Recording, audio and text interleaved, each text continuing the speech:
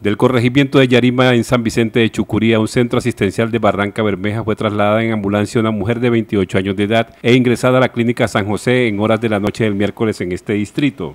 De acuerdo con la versión de su compañero sentimental, ella habría ingerido una bebida tipo gaseosa que encontró en su casa y que llevaba varios días de estar destapada. Al parecer, la bebida habría perdido sus propiedades al estar en reposo de seis días, generando una intoxicación en la mujer provocándole la muerte. La desafortunada mujer respondía al nombre de Lady Yurani Gómez Arias.